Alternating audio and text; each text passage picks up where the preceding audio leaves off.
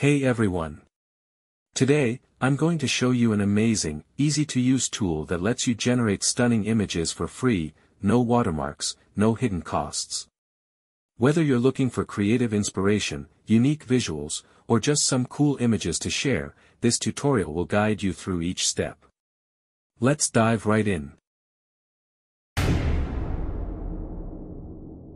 Opening the tool. First, open your browser. I'm using Brave, but any browser will work. In the search bar, type Fooocus Google Colab and hit enter. Click on the first link in the search results.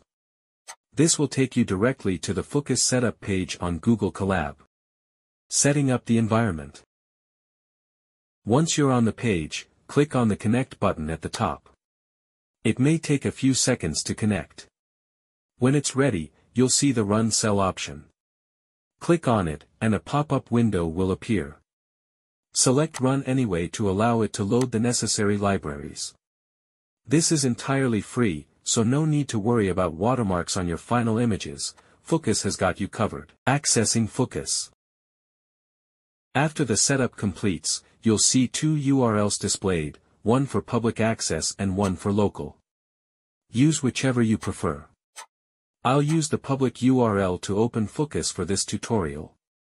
While Fooocus is loading, we'll prepare an image prompt to help guide the generation process. Getting a prompt for image generation.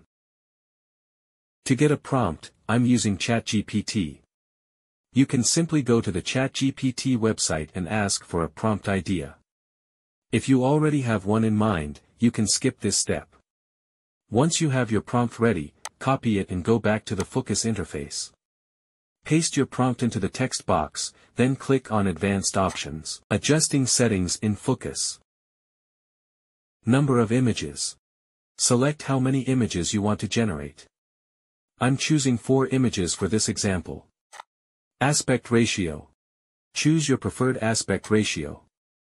I'll go with 1319 for a cinematic look. Performance mode. Choose speed for faster output or quality for the highest quality. Styles. There are over 30 styles to choose from, each completely free. Fooocus gives you three default styles, which you can adjust by selecting or deselecting as needed. For my images, I usually pick Fooocus Photography and Fooocus Cinematic for the best results. Use the arrow button to preview how different styles look. Generating the images.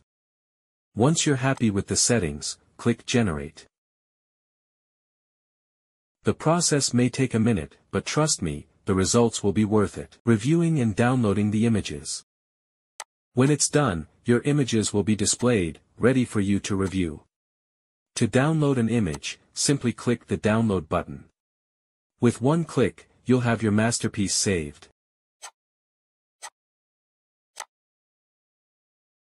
And that's it. We've successfully generated and downloaded some awesome images with Fooocus.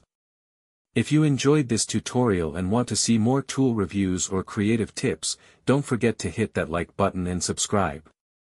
Let me know in the comments what tool you want to learn about next. Thanks for watching.